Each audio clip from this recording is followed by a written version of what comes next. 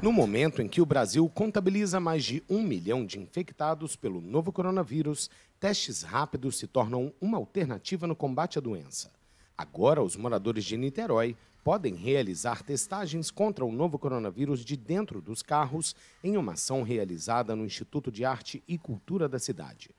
Muitos que passaram por aqui ainda mostram preocupação com as medidas de reabertura parcial de atividades comerciais. Enquanto não tiver alguém da família, alguém conhecido que pega essa doença, as pessoas não vão, não vão cair na real do que vem acontecendo. É muito triste pelas vidas de todas as pessoas que foram perdidas, né?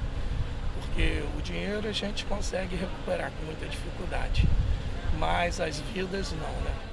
O Rio de Janeiro é o segundo estado com mais mortes pela Covid-19, quase 9 mil, mas é o primeiro em termos relativos já que soma 498 óbitos por milhão de habitantes.